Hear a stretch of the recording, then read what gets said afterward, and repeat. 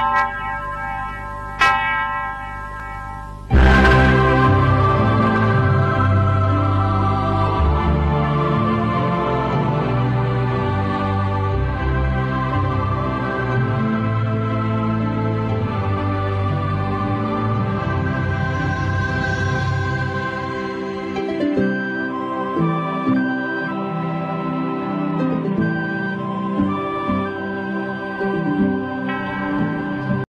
八字解读人生，风水改变命运。大家好，居士从业风水二十六年，很多人通过我的调节都获得了巨大成功。针对八字测算、风水布局、命理分析、事业财运、手相面相、感情婚姻，有独到专研见解。如果你的财运不佳、情感不顺、诸事烦心，原主可添加本居士微信二六六八二一三五，一一帮你调节化解。记住微信。二六六八二一三五。其他的庙里面有没有？其他庙里也有。也有啊。那你带我们去好吧？那远啊？那远？远远我们不怕嘛。可以。啊，你走。你带你你带我们去吧。可以。那他是这个。是毛毛一个本学士。本学士，嗯，那你找我可以吗？可以吗？没找我师傅，找他也可吗？就那个是那个一个摊儿，那个摊儿红的，摊儿，嗯，他是吧？嗯，有个是厉害。他们路远，你说我狮子毛棚还在后山的后边呢，要翻几个山？翻几个山？走多长时间？反正走时间长短我可不清楚，反正路不好走。路不好走。嗯，那草的、柴火的高很。啊。你去给我跑一不不容易找着。这机械他给你，嗯，给你带上去。把咱手上换。那那边把包，到那边后脚把我夹在上面。喂喂。二十夹。啊，夹我，夹我你看哪个？那你这把夹子夹。为了节省体力，我们雇了几匹马进山。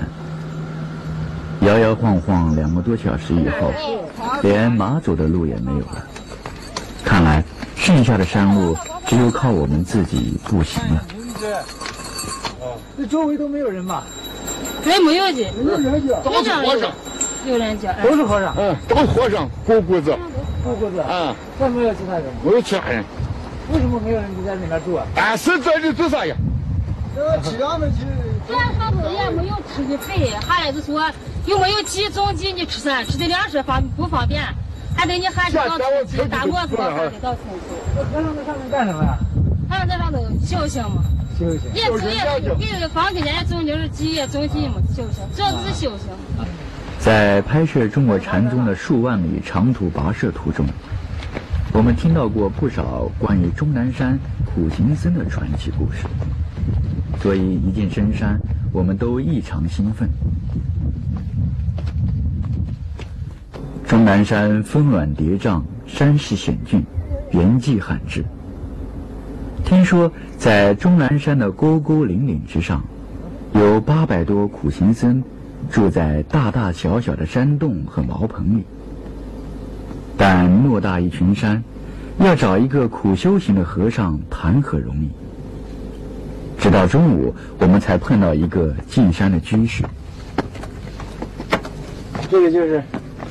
登云梯啊，小心点。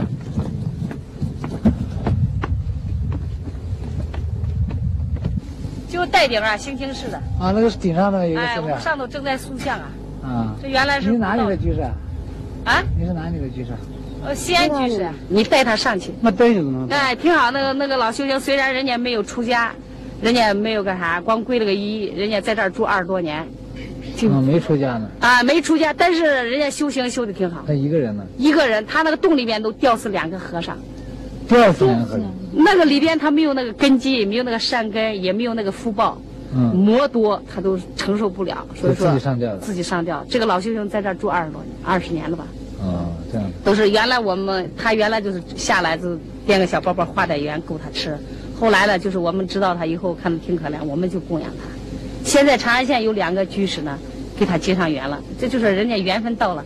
这两个居士呢，每到每月的十号左右，就下大雨，他都背着背篓给他送吃的。是哈，阿弥陀佛，谢谢你啊哈哈阿弥陀佛，没关系。呃，这有好多地对对，方啊，好，你带他们上啊，对对对，到发政室那儿去一下。啊，老乡都在退休生那哪个？那老休息，啊，哪个山？后来我们用了整整两天的时间，也没有找到那个老修行。按佛教的说法，这是缘分未到。嘉武台山顶的一位师傅慈悲为我们带路。他说，一年前他曾经去过那些茅棚，哎，怎么样？没路了，没路了？嗯，哎，老师傅，啊，没路啊这个地方呃，有路有吗？有，从哪？从这儿过啊？还有还要过，没有了，都好好过，没路啊这个我这是路嘛，啊？我这是路嘛，从这儿下去吗？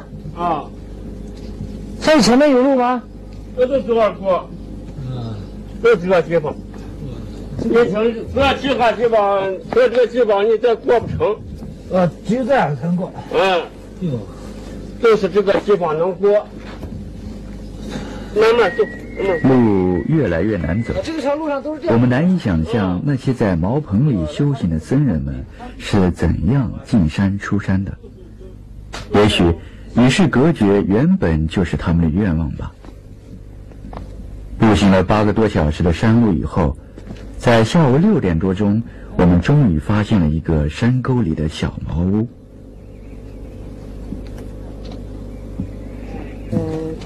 这上面就我自己。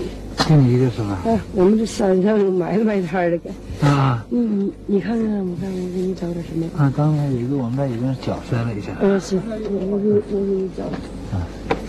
阿弥陀佛，你照啥？我这屋什么都没弄，不能照吗？我不让你照。你看哪哪哪哪有值得你知道？你看你这个荒山野岭当中，你一个人在这住，你不害怕呀？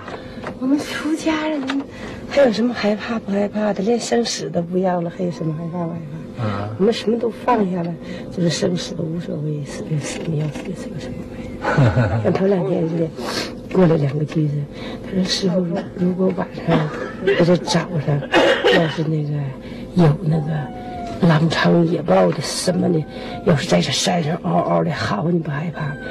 我说我们每天要诵经，我说我有时候成宿诵经，磕大头，我那大经一诵，我说什么东西都没有，百忧寻泪都消失挺亮的。我说我可以给你讲个故事，我说这个是真事儿。我说我咋来的时候，我不认道嘛，就走了第二次过来。我来的时候从家舞台那过来都三点多钟了，忒晚了哈。完了我我就那个啥呢，我就走这一上来这个山，一过这山崖，天子就黑了，我就不认道了，找不着道，天也黑了，这可咋整啊？妈，我一寻思，哎呀，你还怕死吗？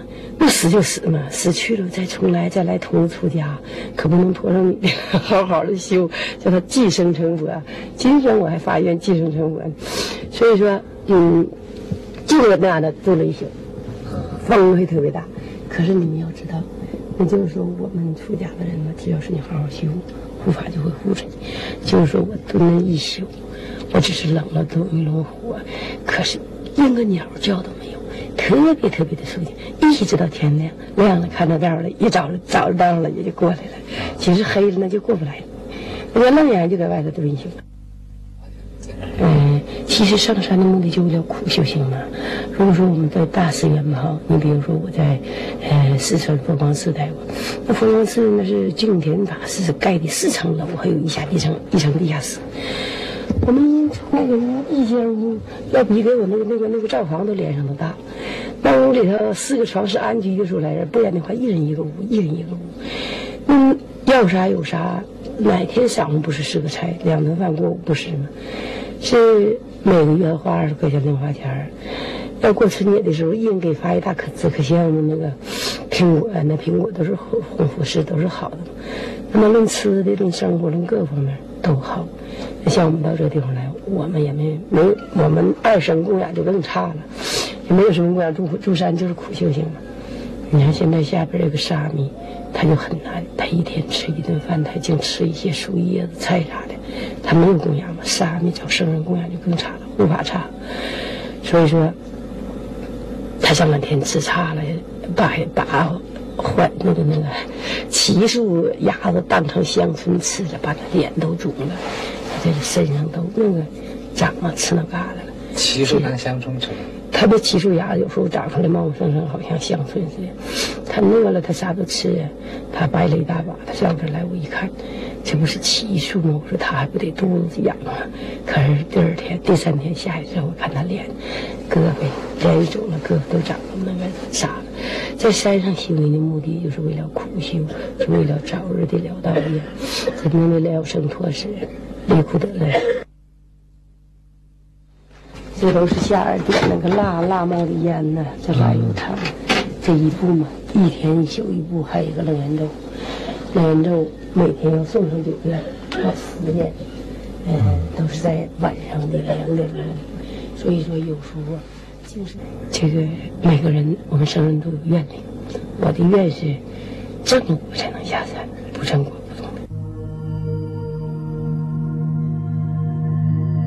远离了世俗的幸福享受，也远离了红尘的痛苦纷争。一盏青灯，一册黄卷，独自一人在大山深处，与天地作伴，日月同眠。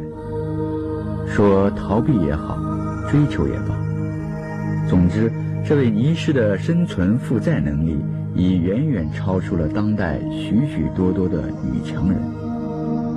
这。也许就是佛，就是中国禅的魅力所在吧。不是一番寒彻骨，哪得梅花扑鼻香？我们唯有默默的祝愿他早日了断生死，明心见性。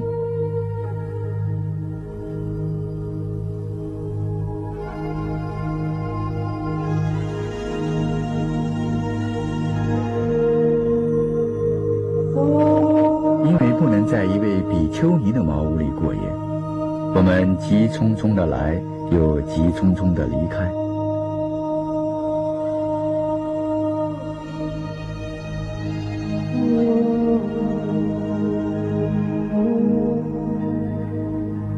当时，我们到达了狮子毛盆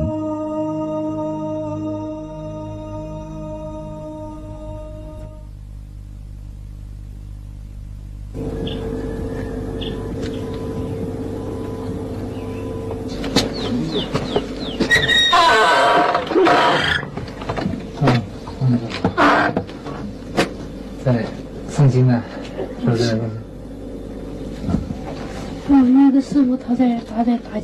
在打坐是吧？是打恶气，不能讲话。嗯。你们有什么事可以告诉我。行。嗯。呃，我们是来呃拍一个纪录片，介绍一下咱们终南山在修行的这个师傅们的情况。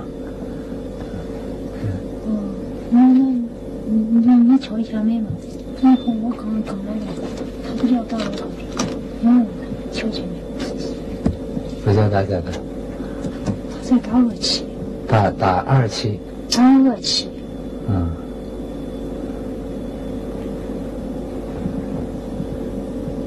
那师傅现在正在诵诵经啊。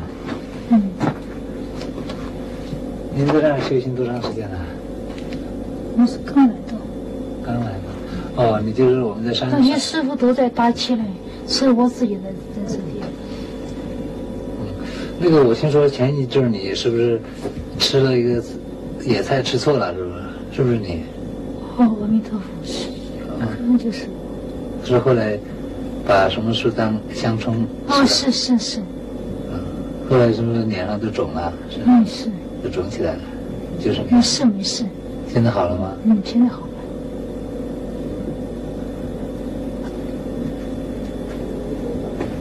那师傅起来了吗？起来了。嗯，你给他说一下吧，因为啥我不懂。嗯，你们从哪从哪房间？嗯，嗯，啊，那个啊，我们是这样，我们拍一个纪录片，中国佛教协会，啊，介绍我们拍一个纪录片，就介绍咱们中国禅宗的。啊，您是刚才刚才在打气是吧？啊，对。你是拍这个这塔吗？还是拍？没有这样的，我们拍拍咱们在这儿终南山修行的这些僧人的生活。呃，当然也顺带可能要拍一下宣纪念塔。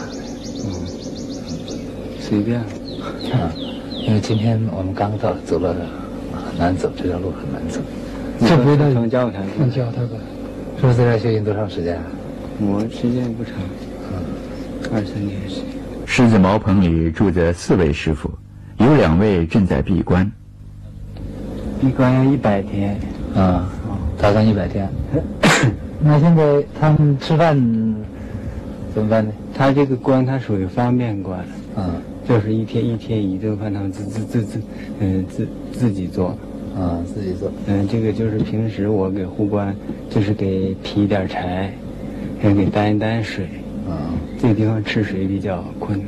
嗯，就是在那个沟里面，桥水上面。哦，呃，像这样，你们在这个环境下面，要是生活的话，要是有时候生病啊或者什么的怎么办？生病，反正我在这儿住了，这将近三年了。就是平时就是感冒的时候很少很少。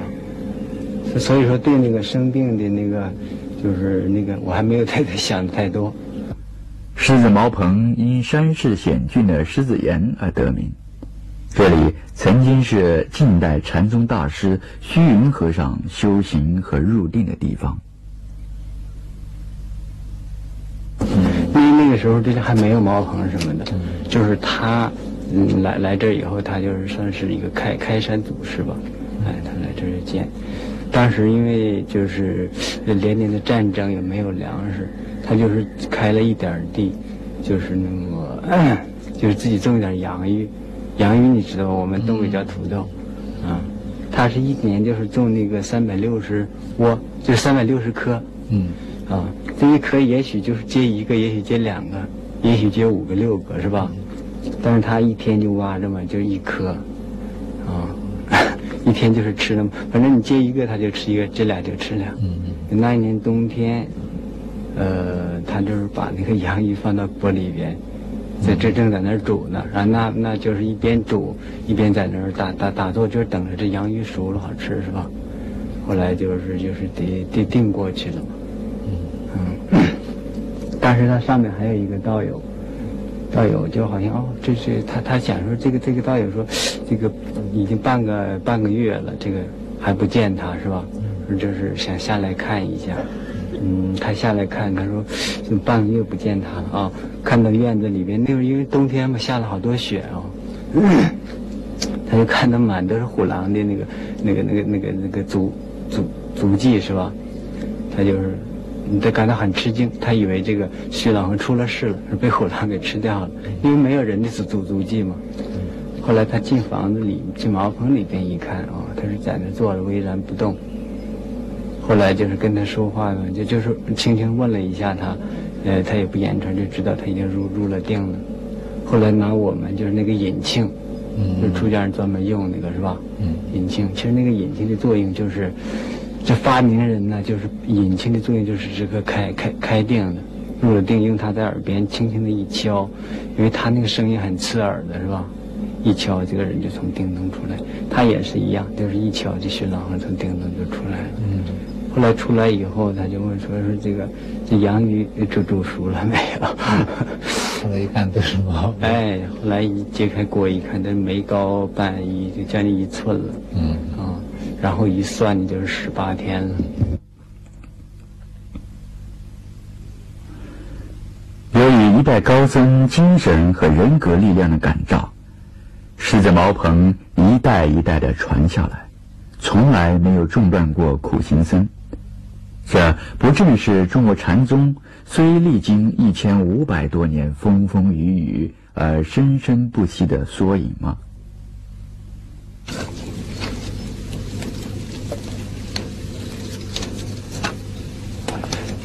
你是到到山上？到山上来了。到山上是九九九六年，前年前年来的。那这个地方冬天是个什么样的天气？冬天，问自然环境吗？是啊是啊，就是你们是怎么个休息？冬天怎么办呀？下雪。我们这个一般的用工全站在冬天，因为冬天就是特别静。你看大雪一封山，都是现在来说就是，呃，就是这个，这是农历到去九月，呃，九月九月半，那个时候就已经大雪就封山了。封山一直到第二年的春天二月份，这个才可以。你像这半年时间，都是那啥，就是一个人都上不来。哦，一个人上不来也下不去。哎，对，我们一到秋天把羊都都准备准备除了，冬天就是打旗呀或者闭关的，就最好的去修行这是是时候就是这个，就是冬天。按计划，我们是在狮子茅棚住宿的，但这几间屋子居然没有一张多余的草席，我们只好围着篝火坐了一夜。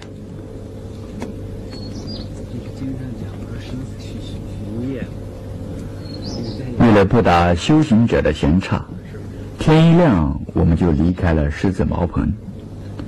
当太阳漫过山脊时，我们又发现了一个山沟里的小茅屋。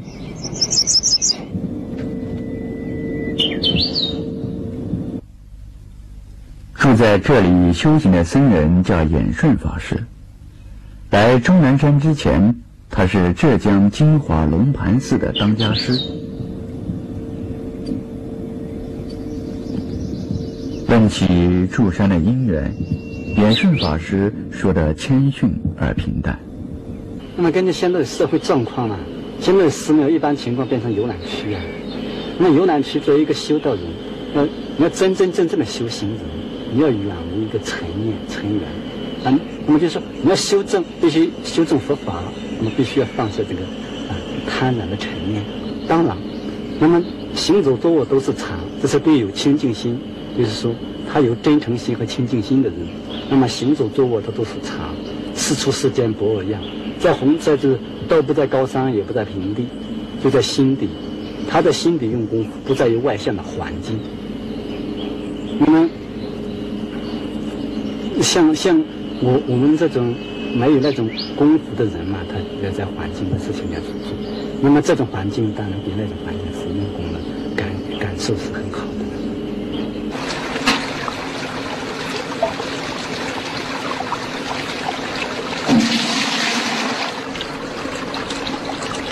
对于住山的演顺法师来说，每天的日子简单而平常。他说，唯一要做的就是努力放下，放下所有的幸福与痛苦、快乐与烦恼，放下过去，放下未来，也放下现在，回归自然，轻轻松松，平平静静。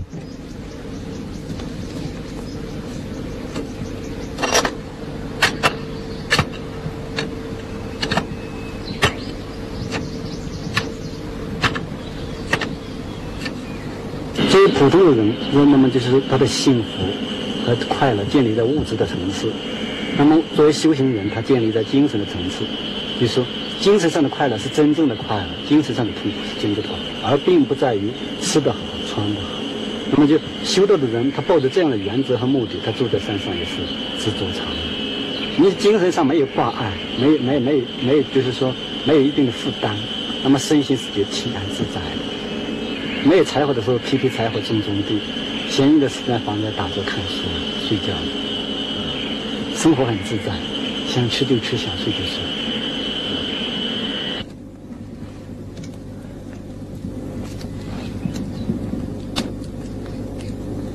一位禅宗祖师说：“悟道的人所见青青翠竹，尽含祖意；郁郁黄花，无非波叶。”当然不知道演顺法师是否已经悟道，但他从几里外挑水上山不负辛苦，反倒悠哉游哉的那份快感，普通人难以下咽的清水面条就咸菜，被他吃出美味佳肴的那种甜美，却让我们深深感受到一个禅者的超然与洒脱。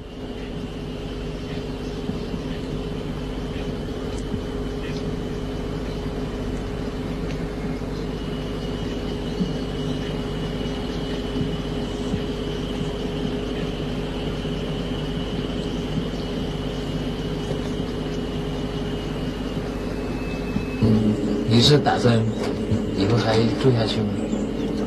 那当然的，在终南山，我的愿心是要在终南山住很长时间的，因为我有我的事情。那你住到最后，你觉得你的目的要达到什么目的？那当然是，我们佛法追求的目的是得到真正的解脱，真正的自在。那么就是说，使我们的身心世界恢复本来的面目。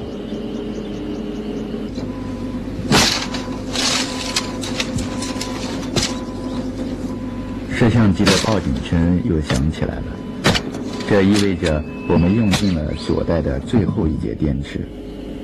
山上没有电，我们无法补充能量，只好带着许许多多的遗憾下山。而演顺法师依旧拜他的佛，做他的禅。这时候，我们突然心念一动。